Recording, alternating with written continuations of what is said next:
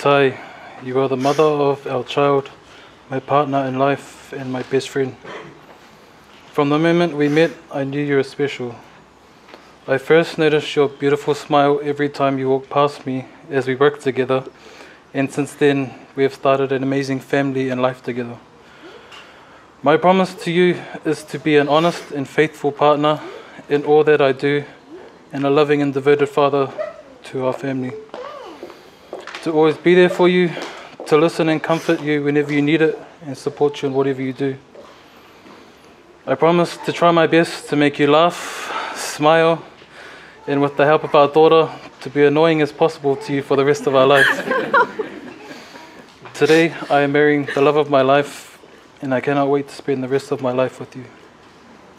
Allen, six years ago, you captured my heart by being exactly who you are and loving me exactly as I am. In you, I have found my best friend, my soulmate, and the man I get to share my forever with.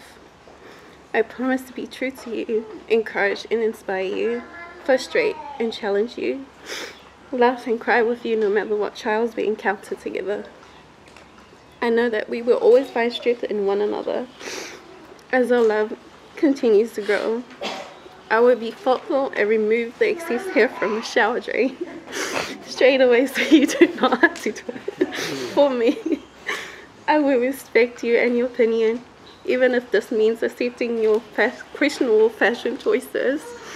Although it hasn't happened yet, wearing jandals with socks, a warrior shirt, and shorts might be on trend one day. I will make an effort to stay awake during the bad films I have chosen, and you have reluctantly accepted to watch with me.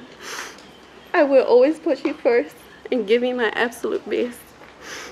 For the rest of my life, days, knowing that I have done one thing right in my life, I will be giving my heart to you.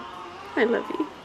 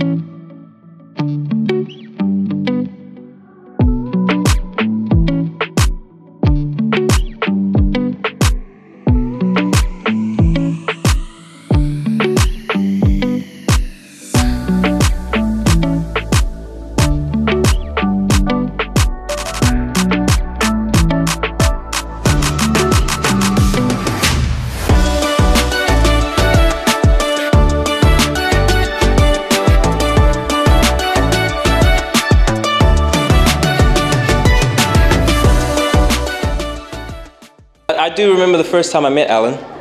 Uh, he came up to me and he came real close and said, Can we be friends? and I said, Whoa, whoa, whoa, man.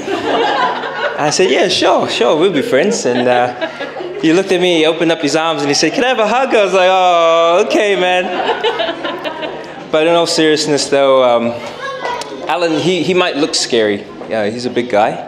So the Samoan side came out strong with him.